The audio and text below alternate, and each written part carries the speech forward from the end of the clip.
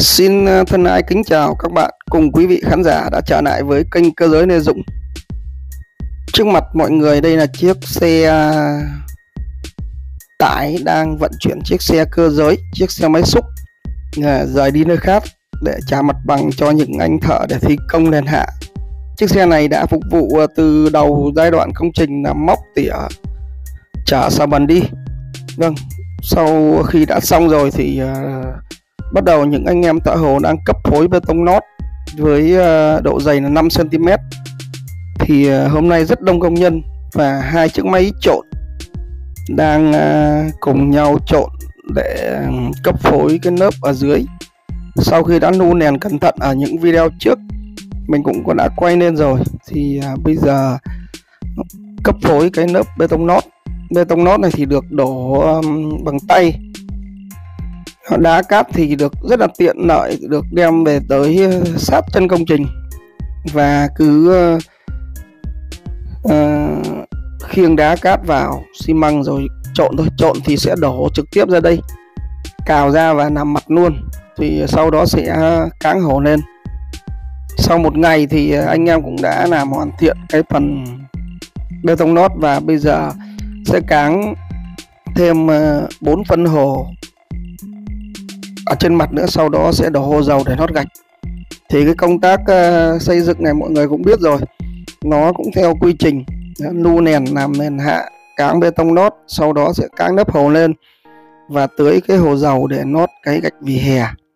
Thì uh, thực ra cái mặt bằng thì rất rộng nhưng khu vực này nó đang có những cái bể nước ngầm ở tại những cái vị trí đang cái máy trộn đấy. Thì mọi người cũng biết thế nên là không thể Ừ, cho xe bồn vào đây để đứng ờ, bơm bê tông được. Nếu mà xe bồn vào được thì cái cấp phối nó sẽ tốt hơn tại vì nó chuẩn hơn là mình đang thi công bằng à, nhân công như thế này. Thì à, ở đây nào cũng rất là kỹ sau khi nu nền xong thì đổ lót 5 phân bê tông đá 12 mark 200 và sau đó sẽ trộn hồ cáng lớp mặt để một ngày sau nữa nó sẽ khô thì uh, nốt gạch. Thì hè. Hôm trước thì đổ bê tông thì đổ một ngày nhưng hôm nay nót hồ thì bớt con số đấy rồi chắc phải hai ngày. Đây cái phía bên hông chung cư nhà mình đây cây xanh rất là mát rất là tuyệt vời. Đó toàn cây cổ thụ thôi dập bóng mát. Còn đây nhà mình thì cũng trồng những cái cây uh, cho nó mát đây. Đây là cây mùng tơi này. Nhìn cái trái nó đẹp không mọi người? Đó, ngay ban công nhà mình. Hôm nay mình đang quay ở trên nhà quay xuống diện tích cái phần này là hơn 200 mét vuông đấy. Đó sau một ngày thì làm được một nửa mọi người ạ. Chiều nay trời uh, sậm xịt đổ mưa nên là mấy anh ấy đã phải đem cái bạt để nót.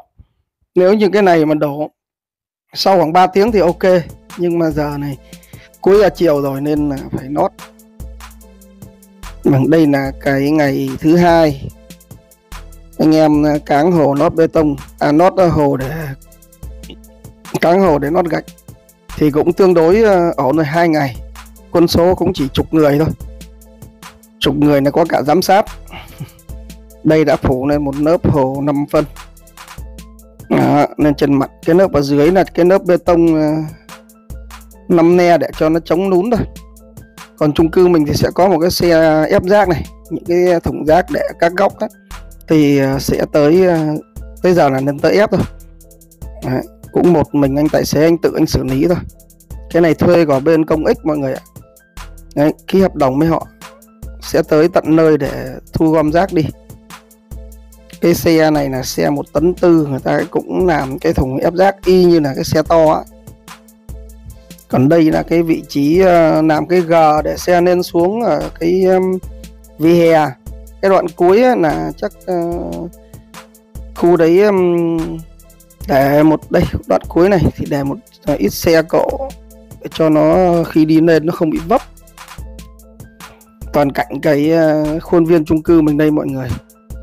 Căn hộ mình thì được xây lên với à, coi như là 20 sàn thì coi như 18 tầng, gồm một tầng hầm và một tầng nấc nữa.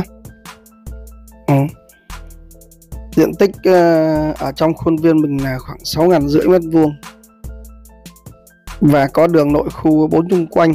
Chung cư là chung cư ờ, khép kín. Chiều cao là cho là 20 tầng đi nó vào 60 mét. Chiều chiều mình cũng hay lên trên uh, chiều chiều hoặc tối sân thượng cũng rất là mát. Phóng cái tầm nhìn ra hôm nào trời quang mây tạnh thì nhìn ra tới um, sân bay nhìn tới uh, Vincom Tân Cảng thấy cái tòa landmark 81 tầng. Và nhìn uh, xung quanh cũng rất đẹp hôm nay thì bắt đầu à, là ngày thứ ba bắt đầu nót gạch mọi người ạ. Đây à, sử dụng cái à, gạch uh, 50 vuông. Cái gạch loại dày hai phân đấy nót vì hè. Và các cái gạch con sâu này này thì để nót vào những cái gốc cây để cho nó tạo cái um, khi mưa gió này kia ấy, nó tạo cái nước nó rút xuống đấy và để cho cây nó sống. Chứ nót biết hết rồi mai sau rễ của nó sẽ trổ nên sẽ tạo ra cái vết nút nứt đây gạch thì uh, nói chung uh, rất là dày dặn rất là đẹp. Anh em nót cũng rất là thẳng hàng ngay nối. Đó. sau 2 ngày làm cái lớp hồ ở trên mặt bây giờ là chỉ đổi hồ dầu vào và nót thôi. Phần nót gạch này chắc phải hết 3 ngày tại vì còn cắt các cái góc cạnh. Bây giờ đã đang nót uh, ờ, thẳng thôi còn những cái góc này, này phải cắt tại vì viên gạch nó không vừa. À, các uh, vấn đề về kỹ thuật này thì hôm nay cũng cần ít thợ thôi. Không cần phụ nữa. Chủ yếu là thợ nót thôi. Phụ thì chỉ quậy uh, hồ dầu thôi. Nhưng hôm nay cũng có ba anh thợ. Ba anh thợ ba anh phụ. Những uh, cái uh, vị trí mà mình nót gạch ấy mà nó kênh lên kênh xuống ấy là họ sẽ dùng cái búa. Nó gõ xuống nhưng mà không phải là búa ờ, bằng uh, bình thường như mình nha mọi người. Họ sẽ có cái cái đầu của nó sẽ bằng cao su. Nên là gõ xuống là chính là nó không uh, bị uh, bể. Cái này thì chỉ cần nót uh, quậy hồ dầu xong rồi nót uh, xuống dưới thế là gắn lên thôi. Khi nằm mặt bằng uh, thì cũng tương đối bằng phẳng rồi uh, mấy cốt cắt đồ đàng hoàng hết rồi bây giờ chỉ có ke cho nó vuông lại thôi. Là nót hết một lượt sau đó đi uh, cắt gạch làm những cái khe và những cái bồn bông. Mấy anh thợ này làm cũng rất là nhiệt tình mọi người ạ. Có khi làm tới ờ, tận gần 12 giờ trưa mới mới nghỉ ạ. Thì cái này giao khoán cho họ nên là thôi họ làm nhanh thì họ có công.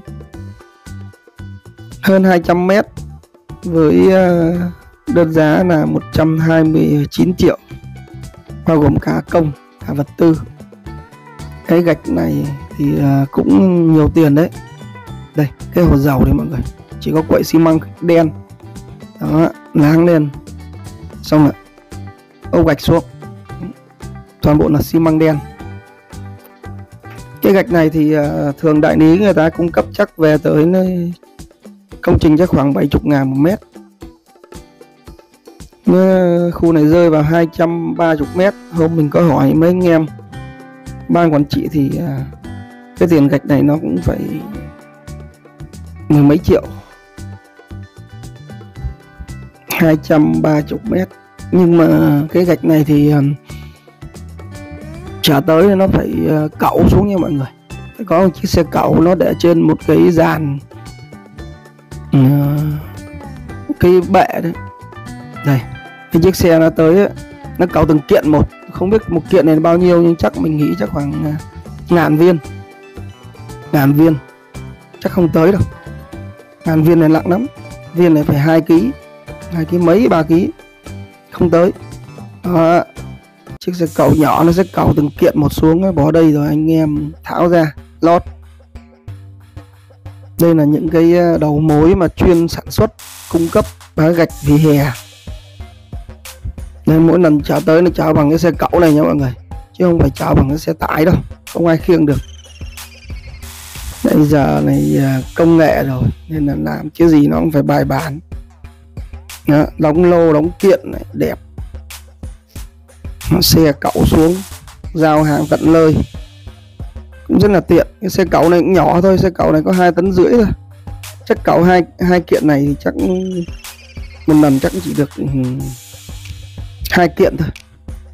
Một kiện này chắc mình nghĩ không tới một ngàn viên đâu. Tại một viên này nó tới hai, nặng hai ký mấy ba ký. Một ngàn viên là tới 3 tấn này cũng phải xít soát ừ. mấy hôm nay thì à, thi công ở đây nên là một số cái quán cà phê, một số hộ kinh doanh họ ấy cũng ờ, không có kinh doanh. Nên là cũng để ghế đó cho anh em ngồi. Cây cối thì ờ, khu vực này rất là mát, toàn cây cổ thụ thôi. Giao hàng như thế này thì ờ, rất là tiện ở đây thì cứ gọi cái gì là đem tới tận chân ờ, công trình thôi. Ừ. thì cái máy ờ, quậy hầu dầu này cứ bỏ xi măng với nước vào xong rồi bấm điện lên nó quậy. Giống như mấy anh sân nước anh có cái máy này giống máy quậy sân nước. À, xong là đem ra nót thôi đem ra đổ xuống dưới. Đổ toàn xi măng thôi rất là chắc. À đây có cái baguette ở dưới mọi người ạ. à cái tấm baguette đó là xếp gạch lên. Nghĩa là hỏi giao một lần một kiện vậy mình cũng không biết bao nhiêu viên. Rất là tiện dụng. Xe cậu này nó cũng uh, nhỏ thôi. Một lần cậu mấy kiện đi giao rồi đó. Chứ còn nếu mà cái gạch này mà chở bằng xe tải cái gì khênh lên khênh xuống chết. Mệt lắm cái này cũng là tận từ nhà cung cấp còn đây có một kiện gạch con sâu ấy, thì có rất là nhiều cái gốc cây ấy. sau đó ừ, để chống lại đấy thì sẽ nót lên và xong mình à, cho có thể trồng cỏ lên đó cho nó đẹp. Để cho nó ờ, thông tưới nước cho cây. Với lại sau à, trồng những cái rãnh cỏ lên. Vâng thì sau à, 3 ngày thì đã thi công xong cái phần cơ bản cái phần nót gạch và cái khu vực này đang được quy hoạch làm cái khu vui chơi cho thiếu nhi. Và sẽ có 5 cái ô tường như thế này. Thì sẽ thuê những cái họa sĩ à, đường phố họa sĩ người ta vẽ tranh tường. Thì sẽ vẽ năm cái bức năm cái ô này là năm bức tranh. Cái khu vực ở giữa này sau được quy hoạch thành cái khu vui chơi cho thiếu nhi. Còn đây bên trái mấy anh thợ điện đang mắc điện chiếu sáng và mắc uh, hệ thống điện thì khu này chắc là sẽ để dành cho những cái um, căn ờ, thương mại họ thuê, họ bán nước, cà phê, hoặc bán hàng gì đó để phục vụ cho cư dân. Buổi chiều là cứ xuống đây ở ngồi, cà phê, dẫn trẻ con đi chơi. Ờ, không phải ra ngoài. Khu mình là nội khu khép kín rồi. Nên là làm được cái này xong thì cũng có rất là nhiều cái tiện ích cho cư dân cái ờ, bức tranh này mình ờ, nghĩ là những cái người ờ, vẽ tranh này chắc vẽ sơn dầu. Hai, bốn con năm thôi, năm ô thôi, còn lại mười mấy ô kia thì thôi không không vẽ nữa để lại. Bên đây cũng 5 ô, chắc 15 ô thì sẽ cho 5 ô để làm khu vui chơi thiếu nhi. Và hai bên kia thì chắc không vẽ. Cây rất là mát mọi người ạ, cây này là cây gọi là cây sa cừ đó. Một ngày thôi là lá nó rụng tơi tả này, quét dọn liên tục nữa. rất là mát. Bên kia là cái chùa Vĩnh Phước nha mọi người. Đó, xa xa mà thấy mái ngói đó. Chùa Vĩnh Phước, một cái ờ, điểm tâm linh của Phật giáo. Bên cạnh đó là cái bệnh viện tâm trí tâm trí Sài Gòn. Họ vẽ như thế này cũng phải mất hai ngày mọi người ạ một ngày vẽ thô. Và một ngày bắt đầu đi ờ, tô lại. Vẽ à, nhìn cũng rất là rất là đẹp. Giống như một cái 3D ấy, vẽ tranh sơn dầu. Đây là buổi uh, chiều thứ ngày thứ hai. Ừ. Và đây là buổi uh, buổi tối. Đợt này thì gần tới Noel rồi. Đang được trang trí rất là nhiều đèn. Và chuẩn bị ăn nồi Noel với Tết Tây. Sơ bộ coi như là 90% đã xong rồi nha cả nhà. Nó rất đẹp. Những cây đèn nhấp nháy được buộc vào cây rất là đẹp. Đấy. Nên là chưa được dọn dẹp chứ khi mà rửa giấy dọn dẹp rồi thì đây là một khu ờ, vui chơi cho thiếu nhi và một nơi giải trí rất đáng sống. Đấy. Quá trời đèn nhấp nháy dọn dẹp xong cái nữa nó uh, hết gạch rồi. Tranh hoàn thiện rồi là cực kỳ. Thôi, uh, ờ, mình cũng rất xin ờ, dừng clip đây mọi người ạ.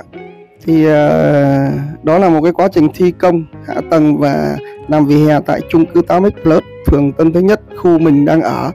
Thì mình quay lên đây. Video của mình tới đây cũng xin kết thúc. Xin chào tất cả mọi người. Hẹn gặp lại các bạn ở những video tiếp theo nếu ờ, các bạn xem thấy ờ, hay thì cho mình xin một like, một đăng ký hoặc một chia sẻ để kênh được lan tỏa tới mọi người. Để mình có động lực đi làm những video để đem tới ờ, sự giải trí cho mọi người. Cũng với đề tài thi công hạ tầng cơ giới và tháo rỡ công trình. Vâng một lần nữa xin kính chào tất cả mọi người.